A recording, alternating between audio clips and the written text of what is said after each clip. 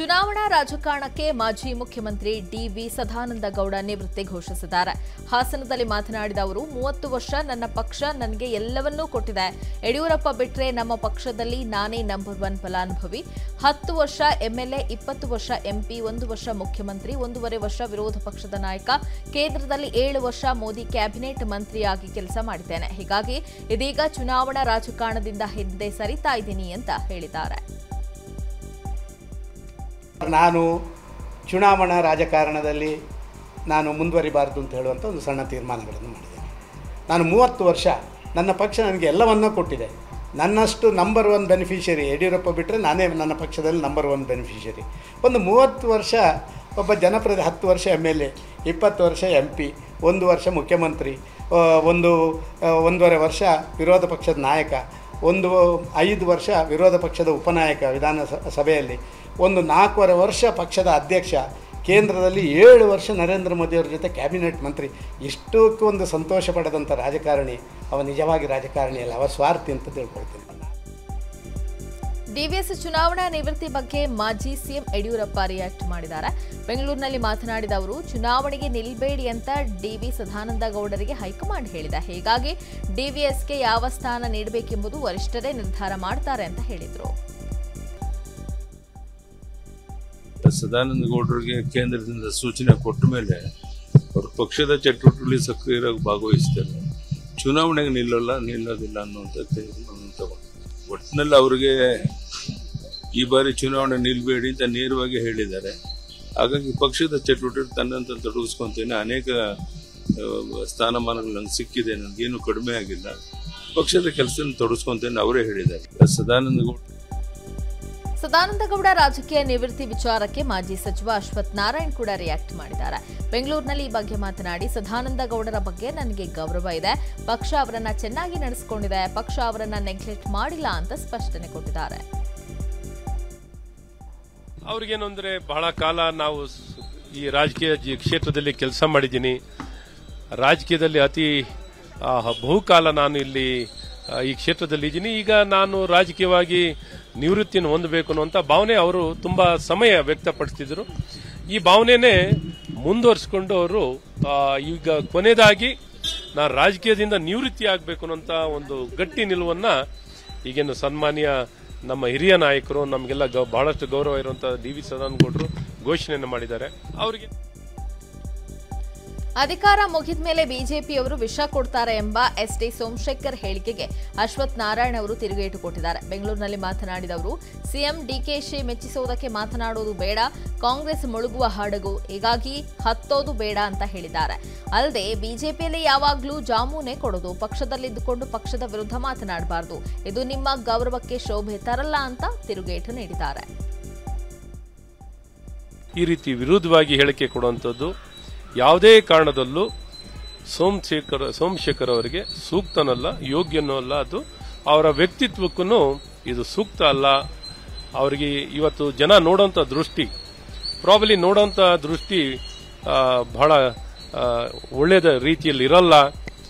ಹಾಗಾಗಿ ಸೋಮಶೇಖರ್ ಅವರು ಇವತ್ತೇನು ಸಿದ್ದರಾಮಯ್ಯನವ್ರನ್ನ ಮೆಚ್ಚಿಸ್ಲಿಕ್ಕೆ, ಸನ್ಮಾನ್ಯ ಶಿವಕುಮಾರ್ ಅವ್ರನ್ನ ಮೆಚ್ಚಿಸ್ಲಿಕ್ಕೆ ಮಾತಾಡಬೇಕಿಲ್ಲ. ಇವ್ರು ಯಾರೂ ಪಾಪ ಅವರೇ ಅಲ್ಲಾಡೋಂಥ ಮನೆ. ಅವರೇ ಮುಳುಗುವಂಥ ಹಡಗಿನಲ್ಲಿದ್ದಾರೆ. ಸೊ ಅವ್ರು ಮುಳುಗ್ತಾ ಇರ್ಬೇಕಾರೆ ಆ ಮುಳುಗೋ ಹಡಗನ್ನ ಯಾಕೆ ಹೋಗಿ ಹತ್ಕೊಳ್ತಿದ್ದಾರೆ? ಒಳ್ಳೆ ಫಸ್ಟ್ ಕ್ಲಾಸ್ ಮೇಲೆ ತೇಲ್ತಾ ಇದ್ದಾರೆ ಸೋಮಶೇಖರ್ ಅವರು. ಈಗೇನು ಅವ್ರಿಗೆ ಯಾಕೆ ಈ ಪರಿಸ್ಥಿತಿ ನಿರ್ಮಾಣ ಆಗಿದೆ ಅಂತ ಕೇಳಬೇಕಾಗಿದೆ ಅಧಿಕಾರ ಹಂಚಿಕೆ ಫೈಟ್ ನಡುವೆಯೇ ಉಪಮುಖ್ಯಮಂತ್ರಿ ಡಿಕೆ ಶಿವಕುಮಾರ್ ಅವರನ್ನ ಶಾಸಕರು, ಸಚಿವರು ಭೇಟಿ ಮಾಡಿದ್ದಾರೆ. ಬೆಂಗಳೂರಿನ ಸದಾಶಿವನಗರದ ಡಿಕೆ ಶ್ರೀನಿವಾಸಕ್ಕೆ ಸಚಿವ ಸಂತೋಷ್ ಲಾಡ್, ಶಾಸಕ ರಂಗನಾಥ್, ಶಾಸಕ ಜಿಎಸ್ ಪಾಟೀಲ್ ತರೀಕೆರೆ ಶ್ರೀನಿವಾಸ ಸೇರಿದಂತೆ ಕಾಂಗ್ರೆಸ್ ನಾಯಕರ ದಂಡೆ ಆಗಮಿಸಿ ಭೇಟಿ ಮಾಡಿ ಚರ್ಚೆ ಮಾಡಿದ್ದಾರೆ. ಮಾಜಿ ಸಿಎಂ ಬಿಎಸ್ ಯಡಿಯೂರಪ್ಪ ಬೆಂಗಳೂರು ನಗರ ಪ್ರದಕ್ಷಿಣೆ ಹಾಕಿದ್ದಾರೆ. ರಾಜರಾಜೇಶ್ವರಿ ನಗರ ಕ್ಷೇತ್ರದಲ್ಲಿ ಬಿಎಸ್ ಯಡಿಯೂರಪ್ಪ ರೌಂಡ್ಸ್ ಹಾಕಿ ಸ್ಥಗಿತಗೊಂಡಿದ್ದ ಕಾಮಗಾರಿಗಳ ವೀಕ್ಷಣೆ ಮಾಡಿದ್ದಾರೆ. ಹೊಸಕೆರೆಹಳ್ಳಿ ಭಾಗದಲ್ಲಿ ಸ್ಥಗಿತಗೊಂಡ ಕಾಮಗಾರಿಗಳನ್ನು ವೀಕ್ಷಿಸಿದ್ದಾರೆ. ಬಿಜೆಪಿ ಅವಧಿಯಲ್ಲಿ ಕೊಟ್ಟ ಅನುದಾನ ಹಿಂಪಡೆದ ಹಿನ್ನೆಲೆ ಅರ್ಧಕ್ಕೆ ನಿಂತಿರುವಂತಹ ಕಾಮಗಾರಿಗಳನ್ನು ವೀಕ್ಷಿಸಿದ್ರು. ಬಿಎಸ್ವೈ ಅವರಿಗೆ ಶಾಸಕರಾದ ಅಶ್ವಥ್ ನಾರಾಯಣ್, ಮುನಿರತ್ನ ಸಾಥ್ ನೀಡಿದರು. ಮುನಿರತ್ನ ಕ್ಷೇತ್ರದಲ್ಲಿ ಒಂದು ರೀತಿ ಸೇಡಿನ ರಾಜಕಾರಣ ಆಡಳಿತ ಪಕ್ಷ ಮಾಡ್ತಿರೋದನ್ನ ನಾನು ಖಂಡಿಸ್ತೇನೆ. ಅಭಿವೃದ್ಧಿ ಕಾರ್ಯಗಳಿಗೆ ಹಣ ಮಂಜೂರಾಗಿ ಅರ್ಧಂಬರ್ಧ ಕೆಲಸ ಆಗಿರೋದನ್ನಂತ ನಿಲ್ಲಿಸಿ ಒಂದು ರೀತಿ ಗೊಂದಲದ ವಾತಾವರಣ ನಿರ್ಮಾಣ ಮಾಡಿ ಈ ಅಭಿವೃದ್ಧಿಗೆ ಸರ್ಕಾರ ಕೊಡ್ಲಿ ಪೆಟ್ಟು ನೀಡಿದೆ. ಇದೆಲ್ಲವನ್ನ ಪ್ರತಿಭಟಿಸಿ ಈ ತಿಂಗಳು ಕೊನೆಯಲ್ಲಿ ಒಂದ್ ಎರಡು ಮೂರು ದಿವಸ ವಿಧಾನಸೌಧ ಮುಂದೆ ಒಂದು ಸತ್ಯಾಗ್ರಹ ಮಾಡಿ ಈ ಸರ್ಕಾರಕ್ಕೆ ಒಂದು ಎಚ್ಚರಿಕೆಯನ್ನು ಕೊಡುವಂತದ್ದು. ಐಎಂಎ ಕಂಪನಿ ಹೂಡಿಕೆಯ ಮಾರ್ಗಗಳನ್ನು ಬಳಸಿಕೊಂಡು ಜನರಿಗೆ ಹೆಚ್ಚಿನ ಆದಾಯದ ಆಸೆ ಹುಟ್ಟಿಸಿ ಸಾವಿರಾರು ಜನರಿಂದ ಹೂಡಿಕೆ ಮಾಡಿಸಿಕೊಂಡು ನಾಲ್ಕು ಸಾವಿರ ಕೋಟಿ ರೂಪಾಯಿ ವಂಚಿಸಿತ್ತು. ಸದ್ಯ ಈಗ ಹಣ ಕಳೆದುಕೊಂಡ ಗ್ರಾಹಕರ ಮುಖದಲ್ಲಿ ಸಂತಸ ಮನೆ ಮಾಡಿದೆ. ಐಎಂಎ ಗ್ರಾಹಕರ ಅಕೌಂಟ್ಗೆ ಸ್ವಲ್ಪ ಪ್ರಮಾಣದ ಹಣ ಜಮೆ ಮಾಡಲಾಗ್ತಿದೆ. ಜಪ್ತಿ ಮಾಡಲಾಗಿದ್ದ ಕಂಪನಿ ಆಸ್ತಿಯಿಂದ ಗ್ರಾಹಕರ ಖಾತೆಗೆ ಹಣ ಹಂಚಿಕೆ ಮಾಡಲಾಗ್ತಿದೆ.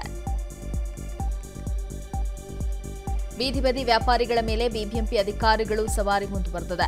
ಬೆಂಗಳೂರಿನ ಜಯನಗರದಲ್ಲಿ ಫುಟ್ಪಾತ್ ಮೇಲಿನ ಅಂಗಡಿಗಳ ತೆರವು ಕಾರ್ಯಾಚರಣೆ ನಡೆದಿದೆ. ತೆರವು ಕಾರ್ಯಾಚರಣೆಯ ಸಂದರ್ಭದಲ್ಲಿ ಅಧಿಕಾರಿಗಳ ಜೊತೆಗೆ ವಾಗ್ವಾದ ನಡೆದಿದ್ದು, ಪರ್ಯಾಯ ವ್ಯವಸ್ಥೆ ಕಲ್ಪಿಸಿಕೊಡಿ ಅಂತ ವ್ಯಾಪಾರಿಗಳು ಆಗ್ರಹಿಸಿದ್ದಾರೆ. ಕಿಯೋನಿಕ್ಸ್ನಲ್ಲಿ ಸುಮಾರು ಐನೂರು ಕೋಟಿ ಅಕ್ರಮ ನಡೆದಿದೆ ಅಂತ ಸಚಿವ ಪ್ರಿಯಾಂಕ್ ಖರ್ಗೆ ಆರೋಪಿಸಿದ್ದಾರೆ. ಬೆಂಗಳೂರಿನಲ್ಲಿ ಸುದ್ದಿಗೋಷ್ಠಿ ನಡೆಸಿ ಮಾತನಾಡಿದ ಅವರು, ಅಕ್ರಮ ಸಂಬಂಧ ನಾನು ತನಿಖೆ ಮಾಡಿಸುತ್ತಿದ್ದೇನೆ ಅದರಿಂದ ಹಿಂದಿನ ಶಾಸಕರಿಗೆ ತೊಂದರೆ ಆಗಲಿದೆ ಅಂತ ಹೇಳಿದ್ದಾರೆ. ಅಲ್ಲದೆ, ಹಿಂದಿನ ಸರ್ಕಾರ ನಲವತ್ತು ಪರ್ಸೆಂಟ್ ಸರ್ಕಾರ ಆಗಿರಲಿಲ್ಲ, ಅದಕ್ಕಿಂತ ಹೆಚ್ಚಾಗಿತ್ತು ಅಂತ ಆರೋಪಿಸಿದ್ದಾರೆ. ಇವೆಲ್ಲ ಬರೀ ಈ ಒಂದು ರಿಪೋರ್ಟನ್ನು ನಾವು ನೋಡಿದ್ರೆ ಹತ್ತು ಪರ್ಸೆಂಟ್ ಅಷ್ಟೇ ಆಡಿಟ್ ಆಗಿರೋದು. ಇದರಲ್ಲಿ ನಮ್ಗೆ ಸಿಕ್ಕಿರೋದು close to four hundred and fifty four plus twenty twenty eight ಒಂದು ಅಂದಾಜಾಗಿ ಒಂದು ಐನೂರು ಕೋಟಿ ಸನಿಯ ಅಪ್ರ ಅಂದಾಜು. ಅಕ್ರಮ ಆಗಿದೆ ಅಂತ. ಇದು ನಾನು ಹೇಳ್ತಾ ಇಲ್ಲ. ಅಕೌಂಟೆಂಟ್ ಜನರಲ್ಲು ಯಾವ ಇವ್ರ ಸರ್ಕಾರದಲ್ಲಿ ಮಾಡಿದಂಥ ರಿಪೋರ್ಟ್ ಇದು. ನಮ್ಮ ಸರ್ಕಾರ ಮೇಲೆ ಬಂದು ಕೊಟ್ಟಿಲ್ಲ ರಿಪೋರ್ಟ್ ಅವ್ರ ಸರ್ಕಾರದಲ್ಲೇ ಕೊಟ್ಟಿರೋದು ಇದು. ರಾಜ್ಯ ಕಾಂಗ್ರೆಸ್ನಲ್ಲಿ ನಾಲ್ಕು ಗುಂಪುಗಳಿವೆ ಅಂತ ಮಾಜಿ ಸಚಿವ ಗೋವಿಂದ ಕಾರಜೋಳ ಕಿಡಿಕಾರಿದ್ದಾರೆ. ಬಾಗಲಕೋಟೆಯಲ್ಲಿ ಮಾತನಾಡಿದ ಅವರು, ಮುಖ್ಯಮಂತ್ರಿ ಸಿದ್ದರಾಮಯ್ಯ ಅವರದ್ದು ಅಹಿಂದ ಗುಂಪು ಡಿಸಿಎಂ ಡಿಕೆ ಶಿವಕುಮಾರ್ ಅವರದ್ದು ಗೌಡರ ಗುಂಪು, ಖರ್ಗೆ, ಪರಮೇಶ್ವರ್, ಮಹದೇವಪ್ಪ ಅವರದ್ದು ಮತ್ತೊಂದು ಗುಂಪು, ಹೆಚ್ ಮುನಿಯಪ್ಪ, ತಿಮ್ಮಾಪುರ ಅವರದ್ದು ಒಂದು ಗುಂಪು ಅಂತ ವಾಗ್ದಾಳಿ ಮಾಡಿದ್ದಾರೆ. ಕಾಂಗ್ರೆಸ್ನಲ್ಲಿ ನಾಲ್ಕು ಗುಂಪುಗಳಾಗಿದೆ ಒಂದು ಸಿದ್ದರಾಮಯ್ಯನವ್ರ ಗುಂಪು ಅಹಿಂದಾದು ಎರಡನೇದ್ದು ಡಿ ಕೆ ಶಿವಕುಮಾರ್ ಅವ್ರದ ಗೌಡ್ರ ಗುಂಪು. ಇನ್ನೊಂದು ಮೂರನೇದ್ದು ಮಲ್ಲಿಕಾರ್ಜುನ ಖರ್ಗೆ ಅವರ ಗುಂಪು. ಪರಮೇಶ್ವರ್ ಮತ್ತು ಮಾದೇವಪ್ಪ ಎಲ್ಲ ಸೇರಿ. ನಾಲ್ಕನೇದ್ದು ಕೆ ಎಚ್ ಮುನಿಯಪ್ಪ ಮತ್ತು ನಿಮ್ಮ ಜಿಲ್ಲಾ ಉಸ್ತುವಾರಿ ಮಂತ್ರಿ ಆರ್ ಬಿ ತಿಮ್ಮಾಪುರ ಅವರು. ತಿಮ್ಮಾಪುರ ಅವರು ನಾನ್ಯಾಕೆ ಮುಖ್ಯಮಂತ್ರಿ ಆಗಬಾರ್ದಂತ ನಿಮ್ಮಲ್ಲೇ ಕೇಳಿದಾರಿಲ್ಲ ಪ್ರೆಸ್ಸಿನ ಮುಂದೆ. ಅದಕ್ಕೆ ಈಗ ಆಕಾಂಕ್ಷಿಗಳು ಒಬ್ಬರೇ ಇಬ್ಬರು ಇಲ್ಲ. ನಾಲ್ಕೈದು ಜನ ಇದ್ದಾರೆ. ಕಾಂಗ್ರೆಸ್ನಲ್ಲಿ. ಸಿಲಿಕಾನ್ ಸಿಟಿ ಬೆಂಗಳೂರಿನಲ್ಲಿ ಸುರಿದ ಭಾರೀ ಮಳೆ ಸಾಕಷ್ಟು ಅವಾಂತರವನ್ನೇ ಸೃಷ್ಟಿ ಮಾಡಿದೆ. ಸಹಕಾರ ನಗರದಲ್ಲಿ ಅಂಡರ್ ಪಾಸ್ ರಸ್ತೆ ಜಲಾವೃತಗೊಂಡು ಮನೆಗಳಿಗೂ ನೀರು ನುಗ್ಗಿದೆ. ಇನ್ನು ಮನೆಗಳಿಗೆ ನೀರು ನುಗ್ಗಿದ ಪರಿಣಾಮ ಕಾರು, ಬೈಕ್ ಮುಳುಗಡೆಗೊಂಡು ಜನರು ಪರದಾಡುವಂತಾಯಿತು. ಅಲ್ಲದೆ ಬಿಬಿಎಂಪಿ ಅಧಿಕಾರಿಗಳ ವಿರುದ್ಧ ಸ್ಥಳೀಯರು ತಮ್ಮ ಆಕ್ರೋಶ ಹೊರಹಾಕಿದ್ದಾರೆ. ಇನ್ನು ರಾಜಧಾನಿಯಲ್ಲಿ ಸುರಿದ ಭಾರೀ ಮಳೆಯಿಂದಾಗಿ ಶಸ್ತ್ರಾಸ್ತ್ರ ದಾಸ್ತಾನು ಕೊಠಡಿ ಜಲಾವೃತಗೊಂಡಿತ್ತು. ಬೆಂಗಳೂರಿನ ಉಳ್ಳಾಳದಲ್ಲಿರುವ ಸಶಸ್ತ್ರ ಮೀಸಲು ಪಡೆ ಕಚೇರಿಯ ದಾಸ್ತಾನು ಕೊಠಡಿಗೆ ಮಳೆ ನೀರು ನುಗ್ಗಿದ ಪರಿಣಾಮ ಶಸ್ತ್ರಾಸ್ತ್ರಗಳು ಮುಳುಗಿದ್ವು. ಇನ್ನು rifle AK forty seven, nine MMA ಪಿಸ್ತೂಲ್ ಸೇರಿದಂತೆ ಇನ್ನೂರ ಹತ್ತು ವೆಪನ್ಸ್ಗಳು ಹಾನಿಯಾಗಿವೆ. ನಿನ್ನೆ ಬಿದ್ದ ಭಾರೀ ಮಳೆಗೆ ಬೆಂಗಳೂರು ಹೊರವಲಯದ ಆನೇಕಲ್ ತಾಲೂಕಿನ ಚಂದಾಪುರ ರಸ್ತೆ ಗುಂಡಿಮಯವಾಗಿದೆ. ಹದಿಮೂರು ಕಿಲೋಮೀಟರ್ ಉದ್ದದ ರಸ್ತೆ ಗುಂಡಿಗಳಿಂದ ತುಂಬಿ ಹೋಗಿದ್ದು ನಿತ್ಯ ಜನರು ಜೀವವನ್ನ ಕೈಯಲ್ಲೇ ಹಿಡಿದು ಸಂಚರಿಸ್ತಾ ಇದ್ದಾರೆ. ಬೇಸಿಗೆ ಸಂದರ್ಭದಲ್ಲಿ ಧೂಳಿನ ಸಮಸ್ಯೆ ಉಂಟಾದರೆ ಮಳೆಗಾಲದಲ್ಲಿ ಈ ರಸ್ತೆ ಕೆಸರು ಗದ್ದಿಯಂತಾಗ್ತಾ ಇದೆ. ಕಳೆದ ಎರಡು ವರ್ಷಗಳಿಂದ ಈ ರೀತಿಯ ಸಮಸ್ಯೆ ಇದ್ರೂ ಅಧಿಕಾರಿಗಳು ಮಾತ್ರ ನಿರ್ಲಕ್ಷ್ಯ ವಹಿಸಿದ್ದಾರೆ. ಬಾಗಲಕೋಟೆ ಜಿಲ್ಲೆಯಲ್ಲಿ ಅಕಾಲಿಕ ಮಳೆ ಅವಾಂತರವನ್ನೇ ಸೃಷ್ಟಿ ಮಾಡಿದೆ. ಜಿಲ್ಲೆಯ ಹಲವೆಡೆ ಹಳ್ಳಕೊಳ್ಳಗಳು ತುಂಬಿ ಹರಿತಾ ಇದೆ. ರಸ್ತೆ ಹಾಗೂ ಜಮೀನುಗಳೆಲ್ಲ ಜಲಾವೃತ ಆಗಿದೆ. ಬೆಳಗಿ ತಾಲೂಕಿನ ರಭಕವಿ ಗ್ರಾಮದಲ್ಲಿ ಎರಡು ಎಕರೆಯಲ್ಲಿ ಬೆಳೆದಿದ್ದ ಈರುಳ್ಳಿ ಮಳೆಗೆ ಹಾಲಾಗಿದೆ. ಇನ್ನು ಬರದ ನಡುವೆ ರೈತ ಶಿವಾನಂದ ಬಳಮಟ್ಟಿ ಬೆಳೆದಿದ್ದ ಈರುಳ್ಳಿ ನೀರು ಪಾಲಾಗಿದ್ದು, ಕೈಗೆ ಬಂದ ತುತ್ತು ಬಾಯಿಗೆ ಬರಲಿಲ್ಲ ಎನ್ನುವಂತಾಗಿದೆ. ಕಳೆದ ಹಲವು ತಿಂಗಳುಗಳಿಂದ ಕಾಣೆಯಾಗಿದ್ದ ಮಳೆ ಅಕಾಲಿಕವಾಗಿ ಸುರಿದಿದ್ದರಿಂದ ರೈತ ತೀವ್ರ ಕಂಗಾಲಾಗಿದ್ದಾನೆ. ಬೆಂಗಳೂರಿನಲ್ಲಿ ಭಾರೀ ಮಳೆ ಅವಾಂತರ ಸೃಷ್ಟಿಸಿದೆ. ಸಹಕಾರ ನಗರದಲ್ಲಿ ಮಳೆಯಿಂದಾಗಿ ರಸ್ತೆಗಳು ಜಲಾವೃತವಾಗಿದ್ದರಿಂದ ಆಕ್ರೋಶಗೊಂಡ ಜನರು ರಸ್ತೆ ತಡೆದು ಪ್ರತಿಭಟನೆ ನಡೆಸಿದ್ದಾರೆ. ಪ್ರತಿ ಮಳೆಗಾಲದಲ್ಲೂ ನೀರು ತುಂಬಿ ಅಪಾರ ಹಾನಿ ಆಗ್ತಾ ಇದ್ರು ಪಾಲಿಕೆ ಸ್ಪಂದನೆ ಕೊಡ್ತಾ ಇಲ್ಲ ಅಂತ ಜನರು ಆರೋಪಿಸಿದ್ದಾರೆ. ಕೂಡಲೇ ಶಾಶ್ವತ ಪರಿಹಾರ ಕಲ್ಪಿಸಬೇಕು ಅಂತ ನಿವಾಸಿಗಳು ಒತ್ತಾಯಿಸಿದ್ದಾರೆ. ಮತ್ತೊಂದು ಕಡೆ, ರಾಜಕಾಲುವೆ ನಿರ್ವಹಣೆ ಆಗದ ಹಿನ್ನೆಲೆಯಲ್ಲಿ ಸಹಕಾರ ನಗರದ ಜನತೆ ಸಚಿವ ಕೃಷ್ಣ ಬೈರೇಗೌಡ ಅವರನ್ನ ತರಾಟೆಗೆ ತೆಗೆದುಕೊಂಡರು. ಎಸ್ಬಿಐ ಎಟಿಎಂ ಕೊರೆದು ಲಕ್ಷಾಂತರ ಹಣ ದೋಚಿ ಕಳ್ಳರು ಪರಾರಿಯಾಗಿರುವ ಘಟನೆ ಬೆಳಗಾವಿ ಜಿಲ್ಲೆ ಚಿಕ್ಕೋಡಿ ಪಟ್ಟಣದಲ್ಲಿ ನಡೆದಿದೆ. ಅಂಬೇಡ್ಕರ್ ನಗರದ ಬಳಿ ಇರುವ ಎಸ್ಬಿಐ ಎಟಿಎಂಗೆ ನುಗ್ಗಿದ ಖದೀಮರ ಗ್ಯಾಂಗ್ ಗ್ಯಾಸ್ ಕಟ್ಟರ್ನಿಂದ ಎಟಿಎಂ ಅನ್ನು ಕಟ್ ಮಾಡಿ ಇಪ್ಪತ್ತು ಲಕ್ಷ ಹಣವನ್ನು ದೋಚಿ ಪರಾರಿಯಾಗಿದ್ದಾರೆ. ಇನ್ನೊಂದು ಕಡೆ ಇಂಡಿಯನ್ ಓವರ್ಸೀಸ್ ಬ್ಯಾಂಕ್ ಎಟಿಎಂನಲ್ಲೂ ಕೂಡ ಕಳ್ಳತನ ವಿಫಲ ಯತ್ನ ನಡೆದಿದೆ. ಇನ್ನು ಘಟನಾ ಸ್ಥಳಕ್ಕೆ ಚಿಕ್ಕೋಡಿ ಪೊಲೀಸರು ಎಫ್ಎಸ್ಎಲ್ ತಂಡ ಭೇಟಿ ನೀಡಿ ಪರಿಶೀಲನೆ ನಡೆಸಿದೆ. ವ್ಯಕ್ತಿಯ ಗಮನವನ್ನ ಬೇರೆಡೆಗೆ ಸೆಳೆದು ಹಣ ಎಗರಿಸಿರುವ ಘಟನೆ ಕೊಡಗು ಜಿಲ್ಲೆ ಕುಶಾಲನಗರದಲ್ಲಿ ನಡೆದಿದೆ. ಪಿರಿಯಾಪಟ್ಟಣದ ಬೆಣಗಾಲ್ನ ಓಹಿಲೇಶ್ ಹಣವನ್ನ ಕಳೆದುಕೊಂಡ ವ್ಯಕ್ತಿ, ಬ್ಯಾಂಕ್ಗೆ ಲೋನ್ ಕಟ್ಟಬೇಕು ಅಂತ ಎರಡು ಲಕ್ಷದ ಒಂಬತ್ತು ಸಾವಿರ ರೂಪಾಯಿ ಹಣವನ್ನ ತೆಗೆದುಕೊಂಡು ಹೋಗ್ತಾ ಇದ್ದಂತ ಸಂದರ್ಭದಲ್ಲಿ ಬಂದ ಖದೀಮರು ಹಣ ದೋಚಿ ಎಸ್ಕೇಪ್ ಹಾಕಿದ್ದಾರೆ. ಹಣ ಎಗರಿಸಿರುವ ದೃಶ್ಯ ಸಿಸಿಟಿವಿ ಕ್ಯಾಮೆರಾದಲ್ಲಿ ರೆಕಾರ್ಡ್ ಆಗಿದೆ. ಇನ್ನು ಸ್ಥಳಕ್ಕೆ ಕೊಡಗು ಎಸ್ಪಿ ರಾಮರಾಜನ್ ಭೇಟಿ ಕೊಟ್ಟು ಪರಿಶೀಲನೆ ನಡೆಸಿದ್ದು, ಆರೋಪಿಗಳ ಪತ್ತೆಗಾಗಿ ಬಲೆ ಬೀಸಿದ್ದಾರೆ. ಕಾಯಿಮಟ್ಟೆ ಶೇಖರಣಾ ಘಟಕ ಸ್ಥಾಪನೆಗಾಗಿ ರೈತರಿಂದ ಲಂಚ ಪಡೆಯುವ ಸಂದರ್ಭದಲ್ಲಿ ಸಹಾಯಕ ತೋಟಗಾರಿಕೆ ನಿರ್ದೇಶಕರೊಬ್ಬ ಲೋಕಾಯುಕ್ತ ಬಲೆಗೆ ಬಿದ್ದಿರುವ ಘಟನೆ ಹಾಸನದಲ್ಲಿ ನಡೆದಿದೆ. ಚನ್ನರಾಯಪಟ್ಟಣ ತಾಲೂಕಿನ ಸಹಾಯಕ ತೋಟಗಾರಿಕೆ ಅಧಿಕಾರಿ ಎನ್ಎಸ್ ಫಣೀಂದ್ರ ಕಾಯಿಮಟ್ಟೆ ಸಂಗ್ರಹಣಾ ಘಟಕ ಸ್ಥಾಪನೆಗಾಗಿ ಒಂದು ಪಾಯಿಂಟ್ ಏಳು ಏಳು ಲಕ್ಷ ರೂಪಾಯಿ ಸಬ್ಸಿಡಿ ನೀಡುವುದಕ್ಕೆ ರೈತರಿಂದ ಲಂಚ ಕೇಳಿದ್ರು. ಲೋಕಾಯುಕ್ತ ಇನ್ಸ್ಪೆಕ್ಟರ್ಗಳಾದ ಬಾಲು ಹಾಗೂ ಶಿಲ್ಪ ನೇತೃತ್ವದ ತಂಡ ದಾಳಿ ನಡೆಸಿ ಆರು ಸಾವಿರ ರೂಪಾಯಿ ಲಂಚ ಪಡಿತಾ ಇದ್ದ ಸಂದರ್ಭದಲ್ಲಿ ಅಧಿಕಾರಿ ಫಣೀಂದ್ರ ಅವರನ್ನ ರೆಡ್ ಹ್ಯಾಂಡ್ ಆಗಿ ಹಿಡಿದಿದೆ ಬೆಂಗಳೂರಿನ ನೈಸ್ ರಸ್ತೆ ಕಚೇರಿ ಮುಂದೆ ಡಾಕ್ಟರ್ ಜಿಆರ್ ಷಣ್ಮುಗಪ್ಪ ನೇತೃತ್ವದಲ್ಲಿ ಲಾರಿ ಚಾಲಕರು ಪ್ರತಿಭಟನೆಯನ್ನು ನಡೆಸಿದ್ದಾರೆ. ಅವೈಜ್ಞಾನಿಕ ರಸ್ತೆಯಿಂದಾಗಿ ಅಪಘಾತಗಳು ಹೆಚ್ಚಾಗ್ತಾ ಇದೆ. ನೈಸ್ ರಸ್ತೆ ಕಂಪನಿ ದುಬಾರಿ ಟೋಲ್ ಪಡೆಯುತ್ತೆ. ರಸ್ತೆಗಳನ್ನು ಸರಿಯಾಗಿ ಮೇಂಟೈನ್ ಮಾಡ್ತಾ ಇಲ್ಲ. ಶುಲ್ಕ ಮಾತ್ರ ಪಡಿತಾ ಇದ್ದಾರೆ.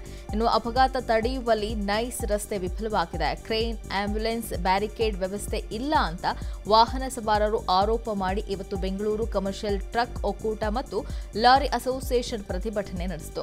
ಇನ್ನು ಪ್ರತಿಭಟನೆಯಿಂದ ನೈಸ್ ರಸ್ತೆಯಲ್ಲಿ ಎರಡು ಕಿಲೋಮೀಟರ್ ತನಕ ಟ್ರಾಫಿಕ್ ಜಾಮ್ ಉಂಟಾಗಿತ್ತು.